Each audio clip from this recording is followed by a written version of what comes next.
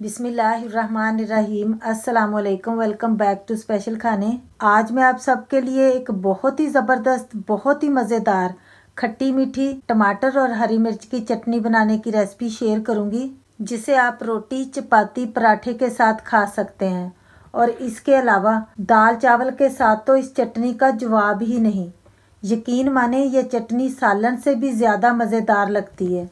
अगर कभी घर में सालन ना हो और या फिर सालन बनाने को दिल ना चाहे तो फिर ये चटनी आप बनाकर खाएँ तो आपको मज़ा आ जाएगा। और इस चटनी की ख़ास बात यह है कि इसे आप बनाकर हफ़्ता भर के लिए भी रखेंगे ना तो ये ख़राब नहीं होती इन ताला। तो चलिए आइए, बहुत ही चटपटी, चटखारेदार चटनी बनाना स्टार्ट कर लेते हैं। इस मज़ेदार सी और बहुत ही स्पेशल चटनी बनाने के लिए फ्रेश पुदीना हमें चाहिए फ्रेश धनिया चाहिए, हरी मिर्चें चाहिए लेमन चाहिए। मैंने एक अदद लेमन लिया है, आपके पास छोटे छोटे हैं तो आपने दो लेने हैं। और हमें बहुत ही फ्रेश लाल लाल ब्यूटीफुल से टमाटर भी चाहिए। और इस चटनी का टेस्ट दुबाला हो जाए, उसके लिए हमें चाहिए सूखी खरमानियाँ। ये स्लिट हुई हमें बहुत ही आसानी से किसी भी ग्रोसरी स्टोर से मिल जाती हैं। ये इस तरह से होती हैं। ये इस चटनी की जान है, ये हमें ज़रूर ऐड करनी है। इन खरमानियों को डाल लिया ना इस चटनी में तो इस चटनी का जो टेस्ट है ना, वो नेक्स्ट लेवल में आ जाएगा। इतनी ये मज़ेदार और हाजमेदार चीज़ है। साथ ही यहाँ पर थोड़ा सा मैंने नारियल लिया था, जो जर्दा वगैरह में हम डालते हैं ना, वही नारियल था, लेकिन इसको मैंने पानी में भगो कर रखा हुआ है। इसके साथ भी चटनी का टेस्ट बहुत ही ज़्यादा बढ़ जाएगा।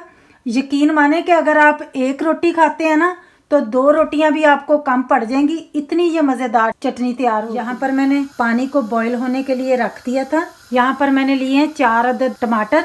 टमाटरों को हमने दो दो पीस कर लेने हैं और हमने ना हल्का सा ही इनको जोश दिलवाना है ताकि इनका छिलका आसानी से उतर जाए। इस तरह बस आपने डाल हैं। तकरीबन पंद्रह बीस ही हमने खरमानियाँ लेनी अच्छे से मैंने वॉश कर लिया था।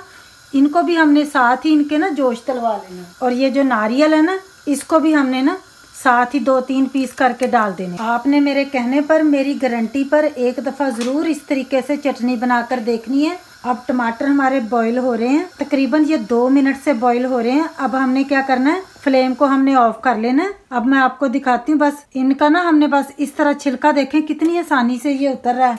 इस तरह हमने बस छिलका ही इनका उतारना है। इससे ज़्यादा हमने इनको ना बहुत ज़्यादा सॉफ्ट नहीं करना। अब चटनी को ग्राइंड करने के लिए यहाँ पर मैं चॉपर का इस्तेमाल करूँगी। तो यहाँ पर मैंने लिए हैं सात, आठ, ये सब्ज मिर्चें हैं इनको मैंने वॉश कर लिए इनको हमने ऐड कर लेना है। और यहाँ पर देखें, ये मुट्ठी भर मेरे पास फ्रेश धनिया है। इसको भी हमने ना मोटा मोटा ही रफली काट के डाल लेना ताकि इसको ना ग्राइंड करने में आसानी हो जाए। पुदीने को भी मैंने अच्छे से वॉश कर लिया था। इसकी हमने टहनिया, डंडियाँ हटानी है।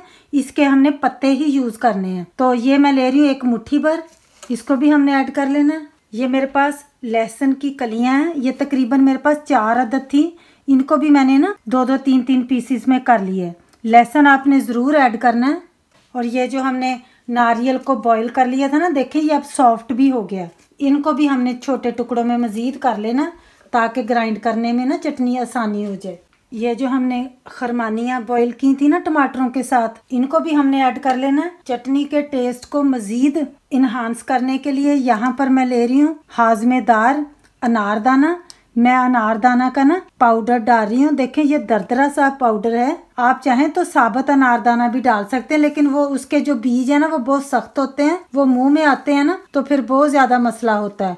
ये मैंने ले लिया है एक टी स्पून जीरा, ये मैं ले रही हूँ हाफ़ टी स्पून ये मेरे पास लेमन है। ये मैंने हाफ़ ही लिया है। इसका हमने जूस ले लेना है। मज़ेदार सी चटपटी सी ये हमारी चटनी तैयार होगी। इस चटनी को खाकर ना कोई भी सालन आपको अच्छा नहीं लगेगा। सॉल्ट को शामिल कर लेंगे। ये मैं ले रही हूँ तकरीबन हाफ़ टी स्पून आपने अपने टेस्ट के हिसाब से सॉल्ट लेना है। अब हम अच्छे से इसको ग्राइंड कर लेंगे। माशाल्लाह देखिए, चटनी कितनी नाइस होगी। है बहुत ज़्यादा ये ना देखे स्मूद पेस्ट नहीं बनी। अब ये जो हमारे टमाटर है ना, ये बिल्कुल अब हम ठंडे हो गए हैं। ये हमने एंड पर ही डालने हैं, देखें। बस अब हमने डालने हैं ये। अगर हम स्टार्टिंग में ही डाल लेते हैं ना तो फिर बिल्कुल ये पानी बन जाता है, फिर टेस्टलेस बन जाते हैं। पानी मैंने बिल्कुल भी नहीं डाला, देखें। धनिए का, पुदीने का, हरी मिर्चों का अपना ही पानी था। दूसरा कि अब ये टमाटर हमने बॉईल किए ना, इनका अपना ही जूस है। अब हम चटनी को टमाटरों के साथ ब्लेंड कर लेते हैं। रोक रोक कर हमने करना है, देखें। हल्का हल्का सा ना ऐसे पल्स मोड पर रख के करना है, क्योंकि हमने बहुत ज़्यादा टमाटरों को ना मछी सा नहीं बनाना।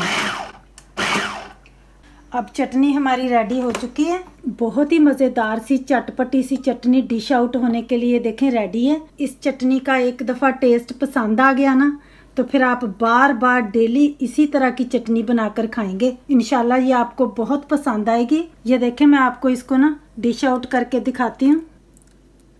देखें, ना तो ये बहुत ज़्यादा पेस्ट बनी है, दरदरा सा इसका टेक्सचर है। बस आपने बस इस तरह ही रखनी है।